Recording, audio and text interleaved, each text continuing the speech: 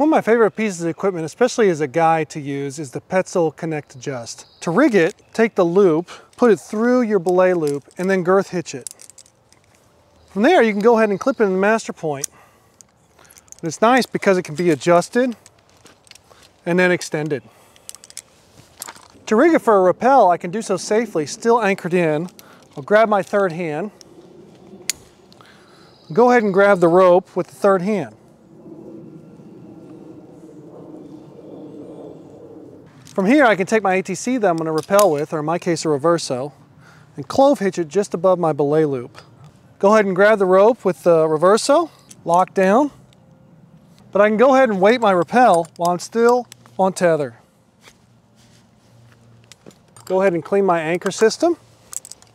Take the Connect Adjust extended anchor, clip it to my belay loop, and I'll see you at the bottom.